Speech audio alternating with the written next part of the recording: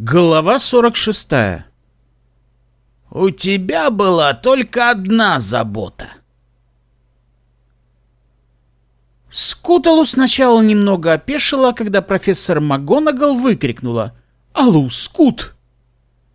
Правда, то, что в результате она оказалась на Гриффиндоре, как и то, что решение шляпы было принято довольно быстро, не стало сюрпризом для Гарри.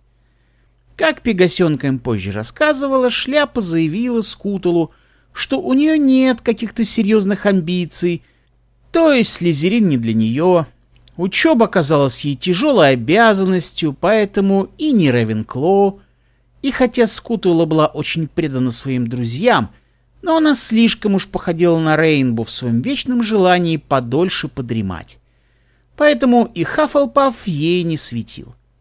А уж ее привычка гнать с места в карьер, с головой ныряя в самые безумные авантюры, которые меткоискатели устраивали во время своих приключений, при этом полностью игнорируя любые возможные опасности, с которыми им обычно предстояло столкнуться во время пресловутых приключений, или как минимум сильно эти самые опасности недооценивая, в значительной степени обозначила ее дальнейшую судьбу, как студентки Гриффиндора.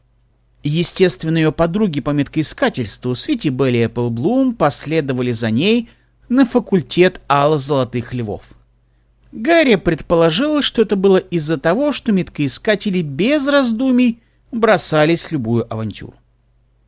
Шокированная, иначе не назовешь, шляпа отреагировал на немалый список монстров, с которыми троица же ребят умудрилась столкнуться за какой-то десяток лет своей жизни — причем с большей из них частью за последние два года, словами «Во имя основателей! Да как вы до сих пор живы-то?» В не меньшей степени шляпа была поражена их происхождением, заверив всех троих, что никогда никому не расскажет о том, что узнала во время церемонии распределения студентов. Впрочем, она все же призналась, что доселе ей еще не доводилось распределять учеников — и из других миров вроде того же Эквуса. А вот то, что Гермиона при всем ее безмерном интересе к книгам тоже угодила на Гриффиндор, их по-настоящему поразило. С другой стороны, учитывая ее восхищение Дамблдором, который наблюдал за церемонией со своего троноподобного кресла, желание оказаться на факультете, где он обучался, возможно, было не столь уж неожиданным — да и то, что на него уже зачислили так много ее друзей, вероятно, также послужило немаловажным фактором. Гарри почти ничего не знал о Невиле, чтобы предположить, куда тот отправится. Однако Невил выглядел весьма обрадованным своим попаданием в Гриффиндор. В поезде он упоминал, что, видимо, попадет в Хаффлпаф, который он называл «домом для тех, кого не взяли в другие дома» и что это сильно разочарует его бабушку и дядю Альфи. Основываясь на историях, которые мальчик рассказал им в поезде, Гарри был уверен, что этот его дядя Альфи отлично бы поладил с дядей Верноном. А еще у Гарри возникло некое непреодолимое чувство, что он просто обязан будет придумать какое-нибудь проклятие, которое бы незаметно переползало с письмо на человека, которому было послано. Проклятие, которое, будучи наложено, заставляло бы жертву признаваться во всех своих смертных грехах самым неподходящим для этого людям. Кстати, по поводу домов. А точнее, почему факультеты так называют, объяснила Гермиона. На вопрос Гарри она сказала, что исторические факультеты Хогвартса именовались домами, поскольку на несколько лет в прямом смысле слова становились для детей своеобразным вторым домом.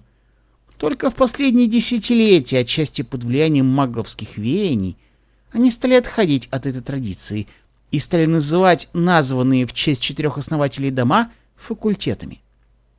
Это было в истории Хогвартса.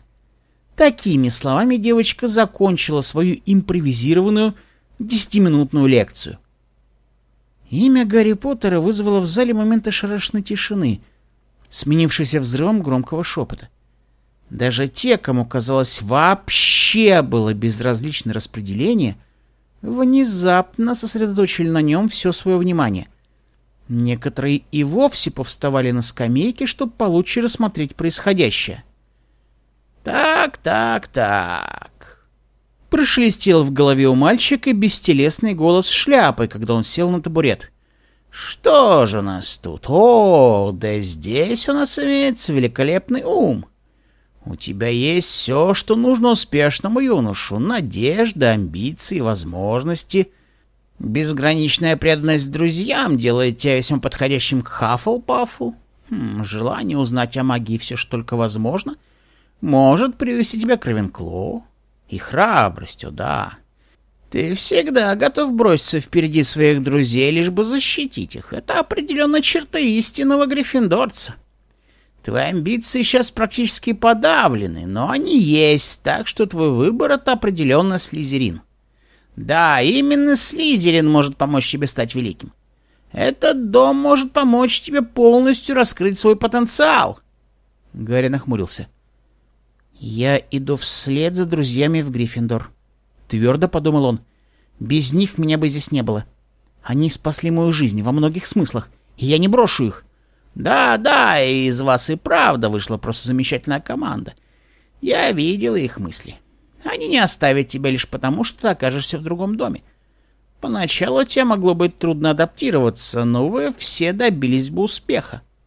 Да, Слизерин был бы исключительно полезен для тебя. Уговоры шляпы заставили Гарри невольно вспомнить, как Рон с близнецами за последний месяц все уши ему с девочками прожужжали жалобами на слезеринцев, отговаривая от того, чтобы иметь дело с ними и со всем, что связано с этим змеиным факультетом. Впрочем, близнецы о других факультетах выражались не всегда в самых добрых словах. Гарри, слушая за обеденным столом, как видичная команда обсуждала остальные факультеты, обнаружил, что стереотипы в волшебном обществе укоренились чрезвычайно глубоко. И поэтому он не позволит разлучить его со своими подругами-жеребенками. Табун должен всегда быть вместе. Гриффиндор, твердо заявил Гарри. Гриффиндор или я ухожу. Ну, если так ставить вопрос, хм, ну, то тогда, конечно, будет лучше Гриффиндор! Громко прорала последнее слово шляпа. Позже, уже сидя за столом Гриффиндора в окружении своих друзей и команды по квиддичу, Гарри впервые в жизни почувствовал себя желанным гостем. Эти люди приняли его таким, какой он есть. В Эквестрии у него были друзья, но они были другими. Вернее, он сам был другим. Не то, чтобы большинство из них знали об этом, но он-то это знал. Он знал, что ему там не место, он знал, что он превращенный человек, а не пони. А тем, кто узнавал его секрет, всегда требовалось какое-то время, прежде чем они его принимали. Но здесь все были такие же, как и он, люди, умеющие колдовать. А присутствие рядом с ним трех его подруг-жеребенок сделало все намного, намного лучше. Видимо, решение пойти в школу здесь, а не в школу для одаренных единорогов Селесте оказалось хорошей идеей. Внезапно возникшая на столе еда заставила кобылок врасплох. Забавно. Но их удивило не ее количество или то, сколько там оказалось блюд из мяса, а то, как много там оказалось выпечки и сластей. Скутулу, конечно же, с большим энтузиазмом принялась за рыбные блюда, при этом даже почти сумев составить конкуренцию Рону в скорости их поглощения. Свити Белли и Эпплблум уже слышали немало аргументов в пользу того, чтобы стать мясоедами — но они их все еще не убедили. Да и Гарри не ел мясных блюд в их доме в Литл Уингинге, не желая расстраивать своих подруг-вегетарианок. «Люди всеядны», — объяснял Твайлет. «Их организмам необходимы определенные питательные вещества, белки и минералы, которые содержатся в мясных блюдах и практически полностью отсутствуют в растительных. Пока вы находитесь в человеческом обличии, вам нужно есть мясо, чтобы оставаться здоровыми и животные здесь совершенно неразумны. После чего принцесса демонстративно откусила большой кусок бекона, который Гарри специально приготовил тем утром. Кроме того, из-за превращения ваши вкусовые рецепторы меняются, и этот продукт становится просто отличным на вкус. Ой, тем не менее, одно дело знать, что что-то полезно, так сказать, умозрительно, а другое — получать от употребления этого удовольствие.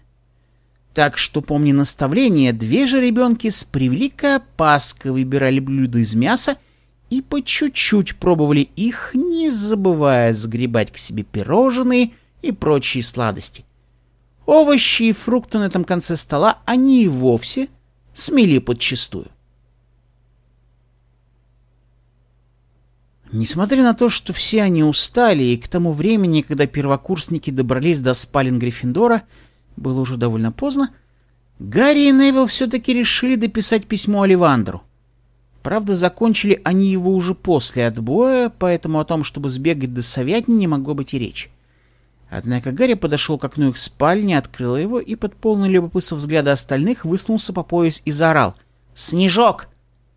Невил Лонгботом, Дин Томас и Симус Финниган переглянулись, пожали плечами и снова посмотрели на Гарри. Рон только усмехнулся. Гарри нырнул обратно в комнату. Мгновением позже вслед за ним внутрь впорхнула белоснежная сова. «Круть!» — восхищенно сказал Дин. «Ой, какой красавец!» Остальные с ним согласились. «Вот снежок», — сказал Гарри, привязывая уменьшенную палку и письмо к ноге своей совы. Не мог бы ты отнести это Оливандеру, мастеру по изготовлению палочек в Лондон? Это на новую палочку для Невилла. Снежок утвердительно ухнул и с величественной грацией вылетел в окно. Дети проболтали ни о чем еще минут десять или пятнадцать, обсуждая события сегодняшнего дня, прежде чем завалиться по своим постелям и заснуть. Для Дамблдора это воскресенье выдалось довольно суматошным и хлопотным, впрочем, как и всегда. Студенты были уже в пути, и замок был просто обязан быть подготовленным к их прибытию. Домашние эльфы лихардочно отмывали в раковине все, что не было прикручено к полу, стенам или потолку, а что было, тщательно отмывали на месте, к счастью, не откручивая. Чуть ли не каждые полчаса один из них возникал у него в кабинете, докладывая, что очередной пункт из далеко не маленького списка всего необходимого для приема студентов выполнен, и спрашивая, не вспомнил ли Дамблдор о чем-нибудь еще, что им следует сделать. Какой-то момент директор, кажется, даже заметил, как какой-то домовой эльф полирует камешки гравия, устилавшего ведущую к воротам дорогу. Профессора также не сидели без дела. Перепроверяли свои расписания, пересчитывали запасы, необходимые для проведения занятий, выискивали все, что могло потребовать исправления в последнюю минуту, и морально готовились к наплыву полных кипучей, требующей выхода энергии детей, который должен был случиться вечером. Но вот студенты прибыли.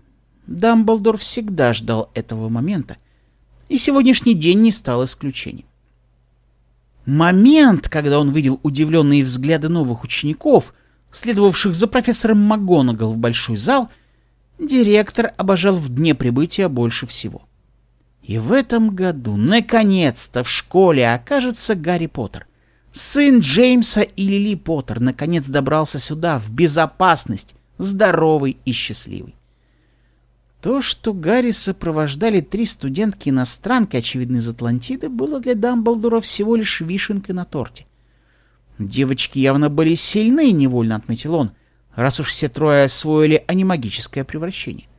Если школа произведет на них хорошее впечатление, то, возможно, стоит ожидать, что в будущем в ней появится больше учеников из этой страны-отшельника.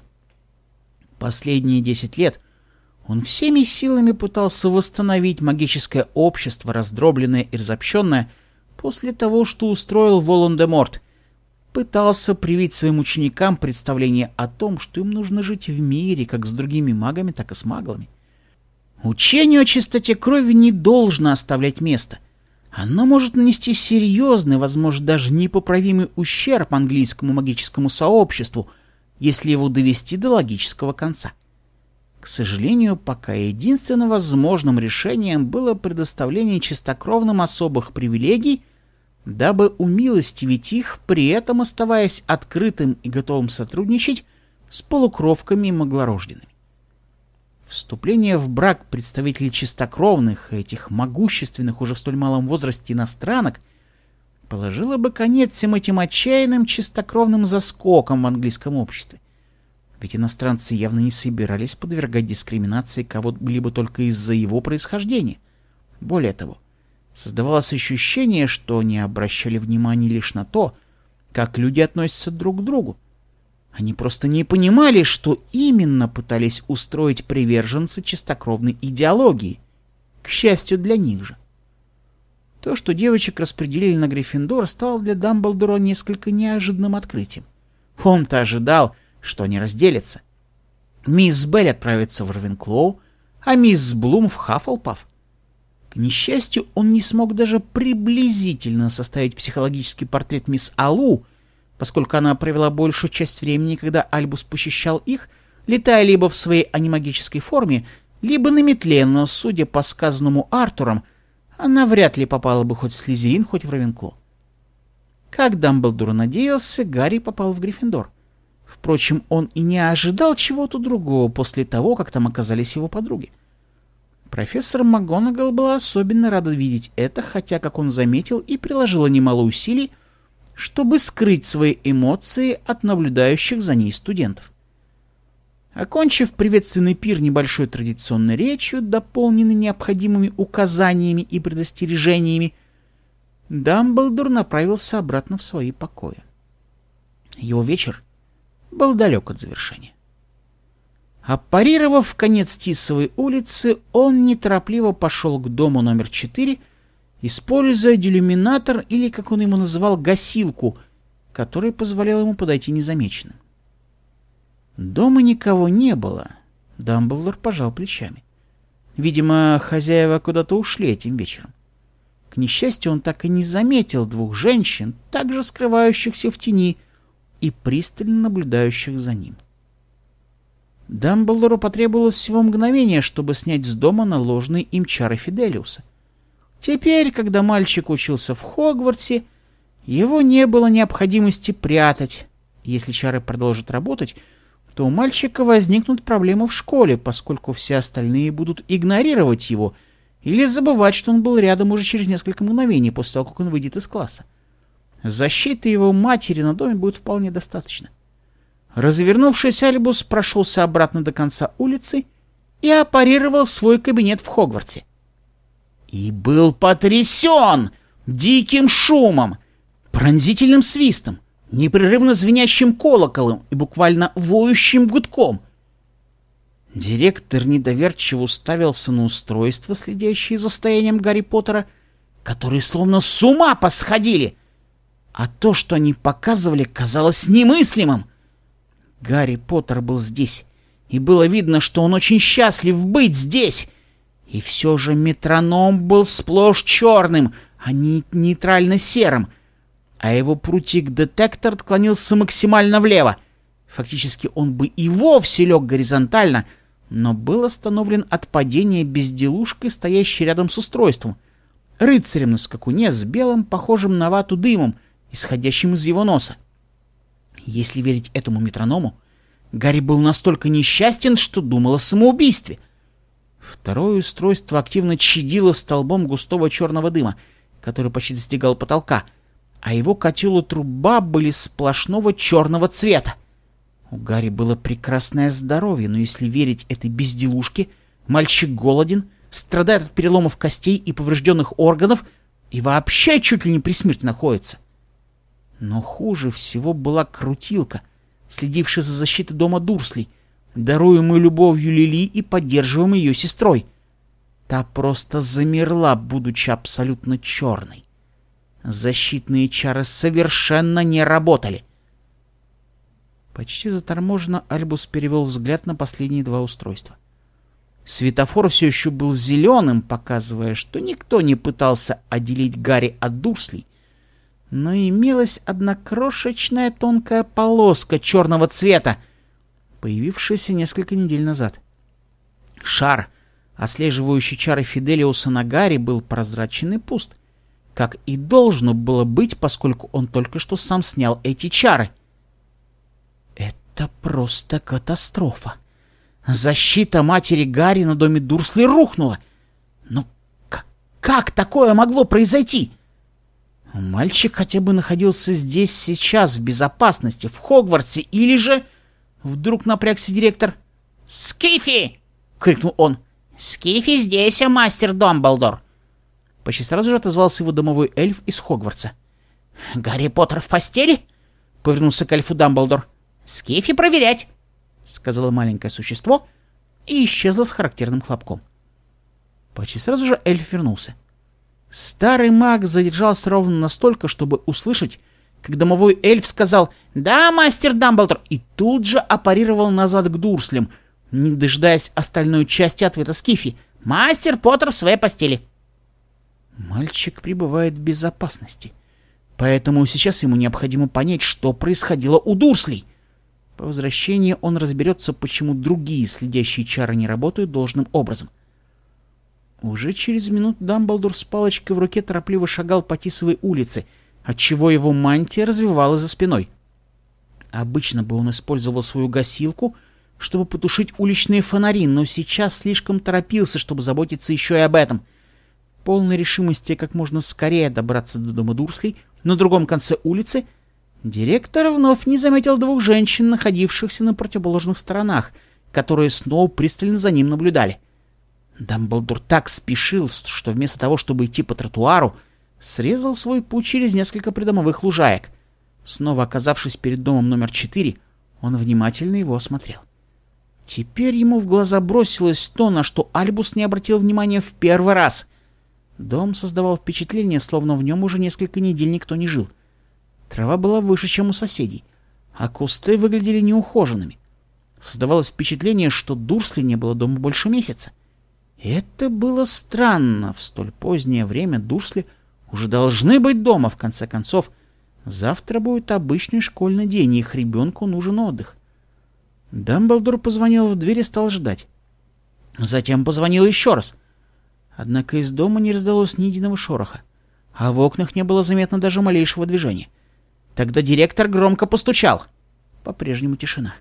Оглянувшись и не увидев, чтобы кто-нибудь смотрел на него из окрестных домов, Дамблдор направил палочку на дверь и прошептал «Хомниум ревелю!» и нахмурился, когда заклинание показало, что в доме никого нет. Несомненно, Дурсли уже должны были вернуться из отпуска, хотя бы для того, чтобы их сын пошел в школу вовремя. Директор быстро отпер заклинанием дверь и вошел внутрь, захлопнув дверь за собой. Наблюдатели, одна из них теперь находилась через дорогу от дома номер 4, а другая заняла прежнее место первой, обменялись недовольными взглядами. То, что была на противоположной стороне улицы, подбежала к окнам на фасаде и заглянула внутрь.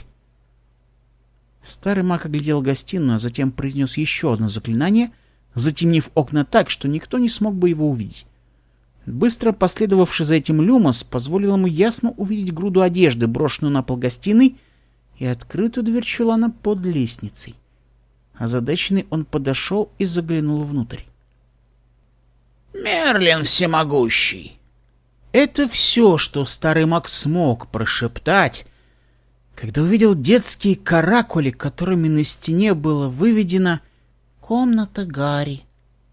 Прицепленные к ней бумаги, отметины пятна, четко показывающие, где стояла детская кроватка.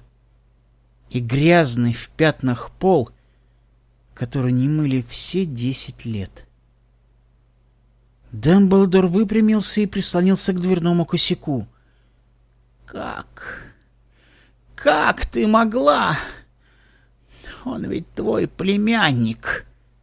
Тихо сказал он, оглядывая безупречно чистую гостиную с фотографиями, на которых были запечатлены лишь очень толстый ребенок, жирный мужчина и тощая женщина с лицом, напоминавшим лошадиное. Нигде. Нигде не было видно ни одной фотографии, на которой был бы Гарри. И тот толстый ребенок точно никогда бы не поместился в этот крохотный шкаф. Тяжелыми шагами Мак медленно поднялся по лестнице. Он заглянул в первую спальню, неприбранную детскую комнату, забитую разным хламом, и разбросанными вокруг одежды игрушками. «Комната Дадли», — гласила табличка на двери, выполненная причудливым шрифтом на бронзе. Вторая, меньшая комната была полностью завалена тем, что могло быть только сломанными игрушками и старыми вещами. Причем все они до своего печального конца явно были довольно дорогими. На двери была такая же табличка, как и на первой. «Комната Дадли!» Третья комната оказалась спальней, размерами была побольше второй и выглядела даже лучше, чем гостиная. В ней стояла аккуратная кровать, прикроватная тумбочка, комод и кресло. Все они были со вкусом подобраны и гармонировали по цвету со стенами и картинами в рамах.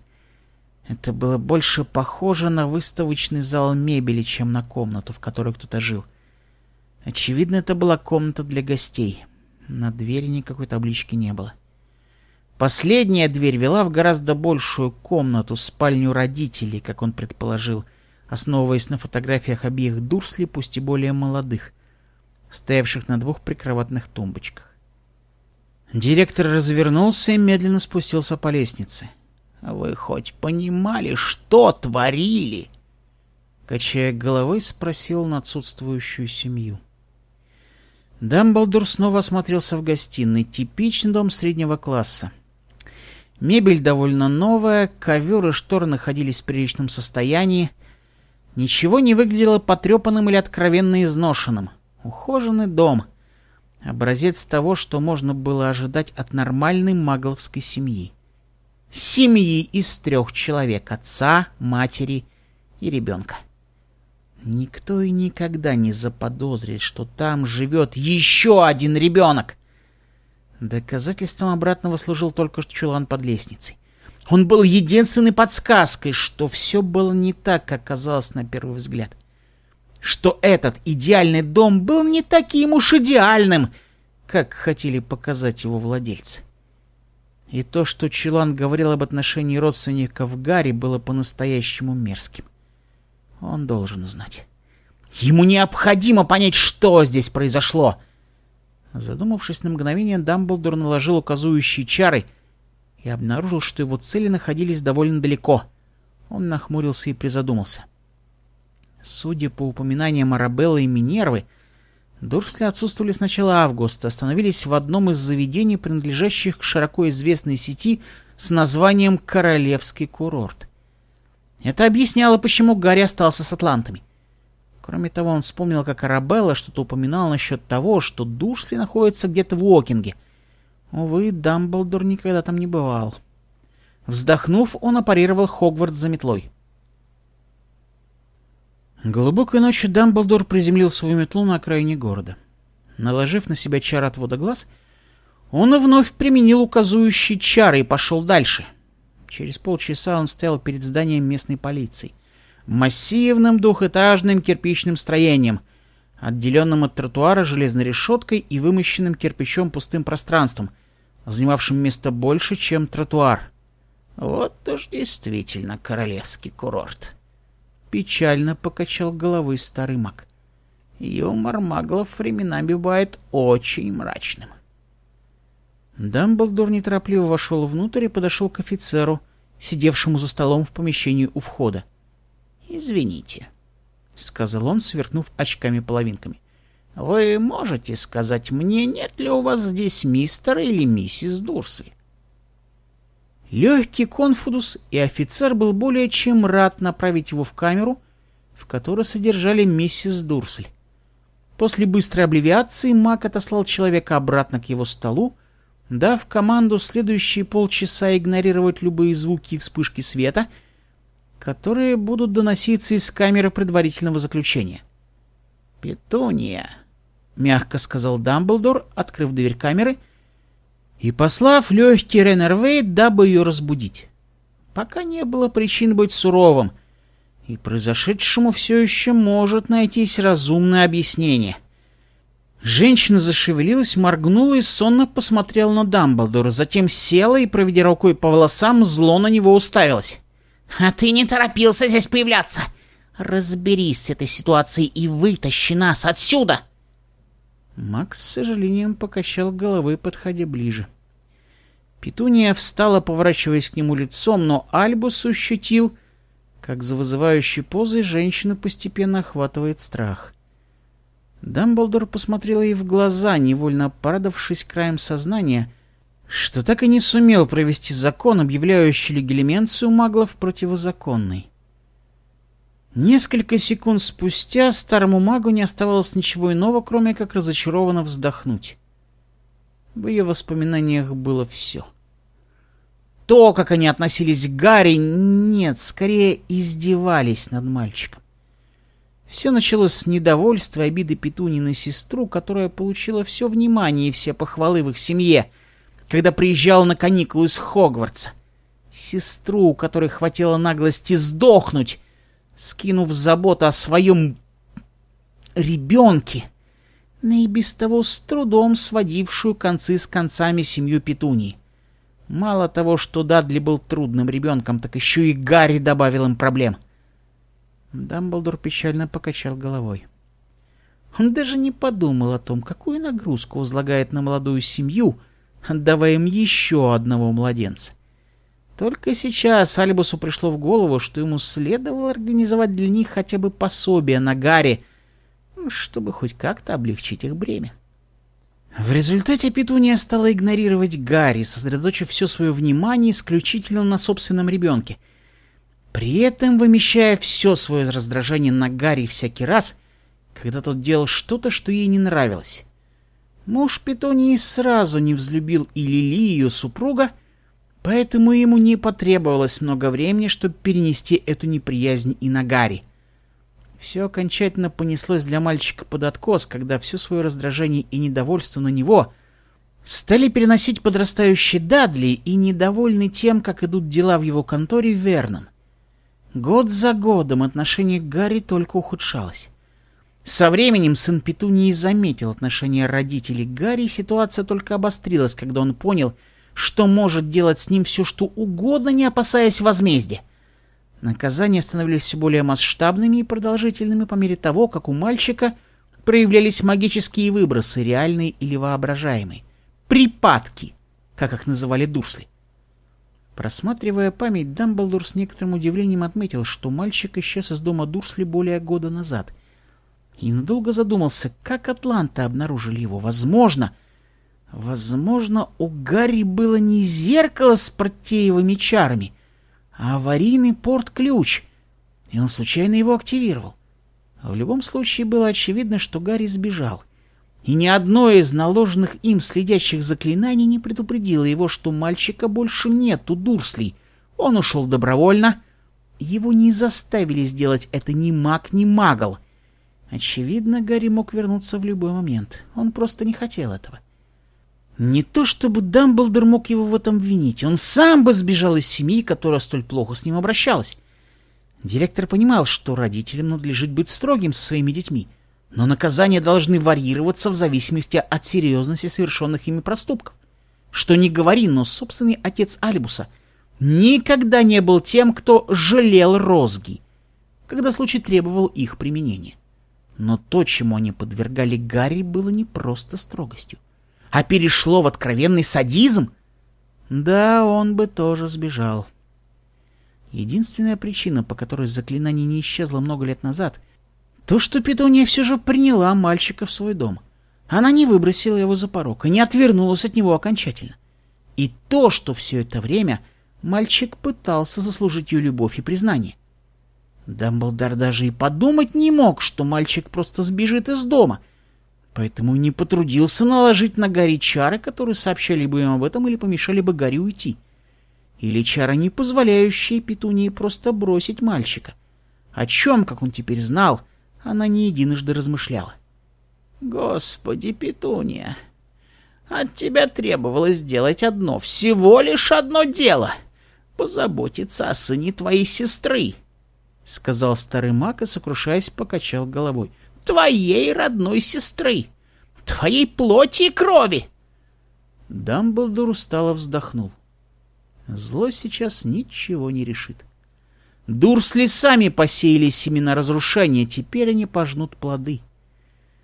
Это объяснило отсутствие защитных чар вокруг их дома. Как только Гарри пропал с глаз долой, Та, пусть и слабая, едва заметная, но любовь, которую женщина испытывала к сыну своей сестры, исчезла окончательно, отброшенная за ненадобностью и забытая в ее рвении и желании заботиться только о своем муже и сыне, не отвлекаясь ни на что другое. Интересно, как давно на самом деле исчезла эта остаточная магия? Может, развеяв Фиделиус, Альбус исчерпал и ту немногую магию, которая оставалась в доме?